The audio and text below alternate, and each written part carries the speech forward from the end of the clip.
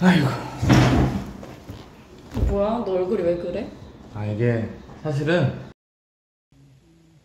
너 여자 생겼 내 친구가 여자가 생겼다는 거야.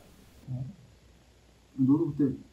걔 그냥 만나? 그래서 막 나를 자극을 하는 거지. 아이 걔 그냥 친구라고. 야, 난 이제 새로운 여자를 만나.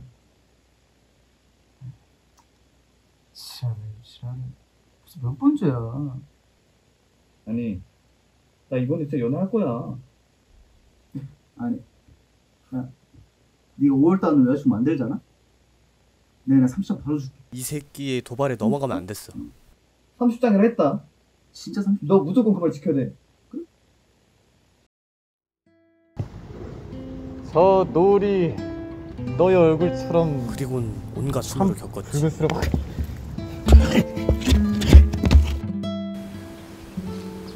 내가 전부터 너한테 할 말 있었. 내가 너를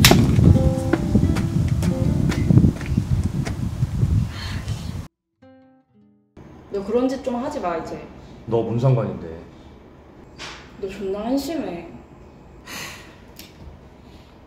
얹어. 아니, 나좀 도와줘라. 내가 아는 여자라고 는 친누나랑 너밖에 없잖아. 일단 면도도 하고 옷 좀 이쁘게 입어봐. 그 과잠도 벗고 제발. 곧 성년의 날이니까 그때 신경 써서 한번 해봐. 성년의 날. 오늘은 드디어 성년의 날. 만반의 준비를 할 거다.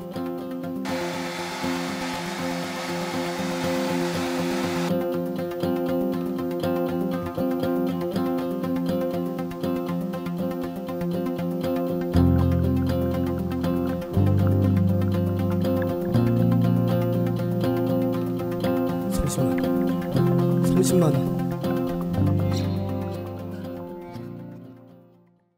대실패. 야! 뭐야? 오늘 상태 괜찮네? 에. 왜? 오늘도 실패야? 아니, 내가 그렇게 매력이 없어? 응? 아니? 그래, 너 가져라. 둘 사람도 없다 이제. 야, 나 너 좋아.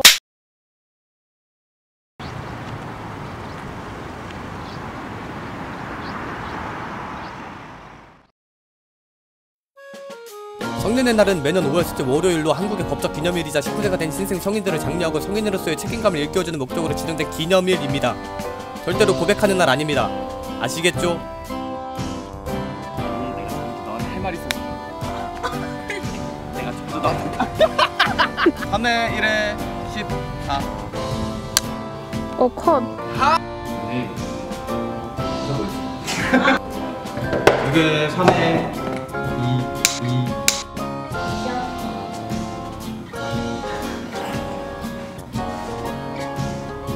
액션. 너 그런 짓좀 하지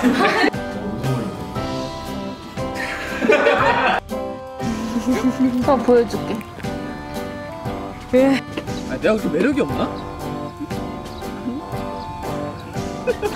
아까 그랬 오늘도 실패야? 실패야?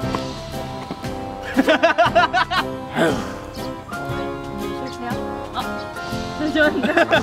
야, 나너 좋아해. 컷.